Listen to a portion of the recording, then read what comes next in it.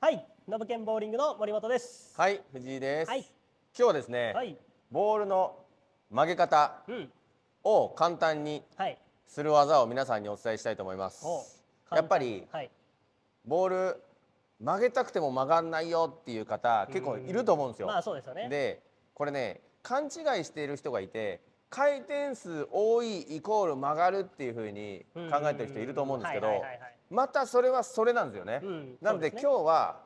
曲げ方をどうすればってことですね。そうですねどうすれば回転、えっ、とボールがまあ大きく曲がるか。そうですね、はい、今日はボールの曲げ方を皆さんにお伝えしていきたいと思いますのでよろしくお願いします、はい、お願いします。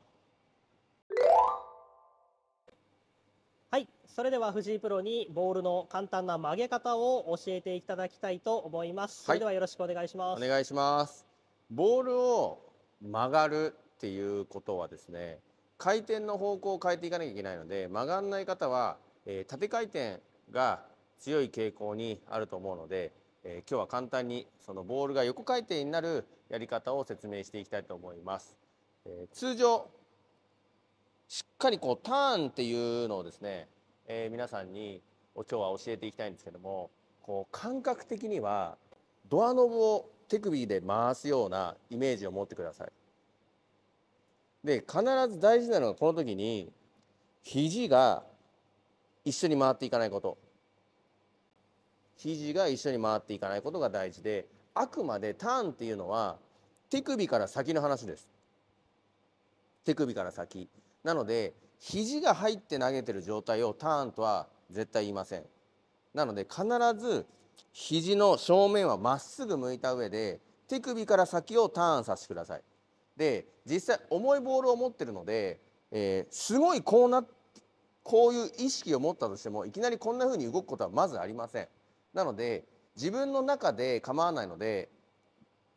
ターンをした時にその曲がりを見てあ曲がりが足りないなと思ったらよりターンの強イメージを強く持ってください。ですごくこの時に必ず先ほども言いましたけど肘が回ることは絶対やめてください。それでは、えー僕が普通の投球から手首をターンするイメージを強めていくのでそれの段階を皆さんに見ていただきたいと思います。はい。それではまず通常の投球でストライクのラインを見つけていきます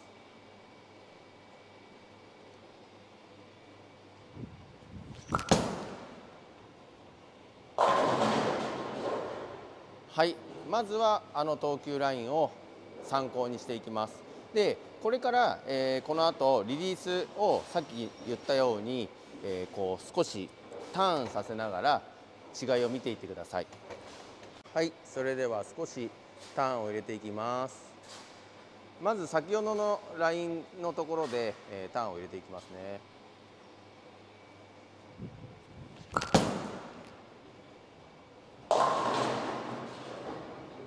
はい、えーまあ、ご覧いただいたように少しこうターンを強めることによって回転の方向が左左に曲がるようになっていきます。で今ので僕の中で、まあ、少しターンしたかなっていうぐらいでやっぱりこう幅を大きく取るときに、えー角度が足りないなっていう時に、え使ったりします。じゃあそしたら次思いっきりいっちゃいますね。そしたら、まあ、基本は同じ立つ位置でいきます。でかなりちょっと強めにローテーション手をターンさせていきますね。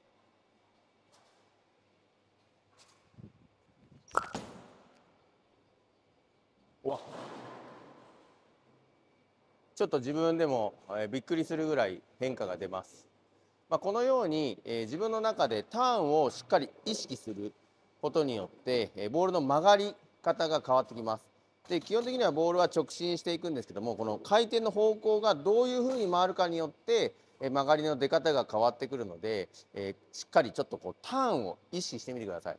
で必ず何度も何度も言いますけれども基本は肘は絶対まっすぐ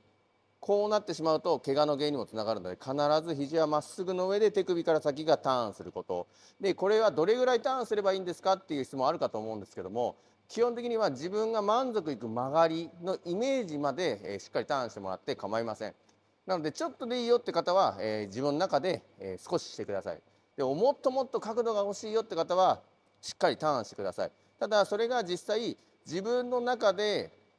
しっかりターンしていても、えー動画を撮ったりするとあこんな感じなんだなっていうのがあると思うんでその認識をしっかり自分の中でえー見つけていってください。はい、質問です。はい、えっ、と、そのターンを強めていくと、はい。UFO 回転になっちゃうっていう方がいらっしゃると思うんですけど、はい。そういうそういった方はどこを注意すればその UFO 回転にならないですか？と基本的には UFO 回転っていう方はまあ本当にこう手のターンが強すぎる。で、まあ、まずは肘が回ってないことをチェックするのとで UFO 回転の方が一番多い現象としては体の外側からスターンしすぎてる。まあ極端に言えばこういう状況ですよね。こういう状況なのでこういう状況になってる方なんかはあの前の動画を出したと思うんですけども、え理想のフィニッシュの形を作るのと一緒で体の近くからボールを離すことを意識しながらターンしてください。でこれが体から離れていたら当然ターンすればするほどオーバーターンになってしまうのでこういう回転になったりしてしまうので体の近くにいることが大前提です。なので体の近くにえーボールがいることも含めてえー動画を撮ってチェックしていってみてください。で実際自分の中ではむちゃくちゃ体に近づけてるよっていう方なんかも動画見てみたら、えー体に近づいてなかったりします。でどこを基準に体に近づいてるのかっていうのを必ず頭の下にボールが来てることを必ず意識してください。なので頭の下に来てなくて体の近くにいても頭の下には来てないので体の外側のスイングになってしまうのでターンっていうのはオーバーターンになりやすいので気をつけてください。はい、ありがとうございます。はい、はい、それでは、えー藤井プロに実際に投球もしていただきましたが、はい。はい、まあ、やっぱりこ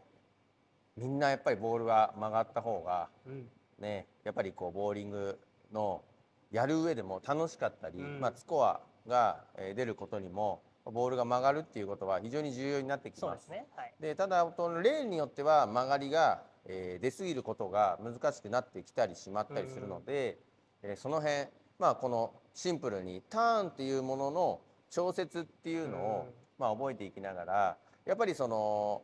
技術を上げるはい、っていうふうにつなげていってほしいなと思います。はいただ、もうこれね最初から一貫して言うんですけど肘がうんこうなることだけは絶対気をつけてください。でこれは、えー僕らもそうなんですけど自分の中で意識してても実際動画で見てみると思った以上に、えー肘が回っちゃってたりうん。することもあるので自分の中でやってるからイコールできてるとは思わないでください。はいはいはい。なので動画を撮るっていうことをですね常に心がけて実際自分の頭の中でイメージしていることが自分で動いた時にどうなってるかっていうのをですねしっかりイメージしてうん。意識してもらいながら、えー自分の投球につなげていってほしいなとはい思います。あ、基本的にやっぱ力が入りすぎちゃうと肘も回る原因にもなりますよね。なんで、まあやっぱ投げるときになるべく力まずってところですね。そうそうでまああの体の内側にあればあるほど肘って回りづらいんですよ。うんなので体のはいはいはい外側にいればいるほど肘って回りやすくなってしまうのでえーちょっと前の僕ら最初の方に出した動画も見ていただいて体の内側にボールを寄せながらしっかりターンをしていくっていうことを心がければえーターンもできるボールもしっかり前に押せるっていう現象というか投げ方がしっかり勝手にできるようになってきますのでえー必ずその辺意識しながらやってみてください。はい。さあじゃあ今日もケンちゃんいつものお願いします。はい。ノブケンボーリング。たくさんボールを曲げて、チャンネル登録、よろしくね。お願いします。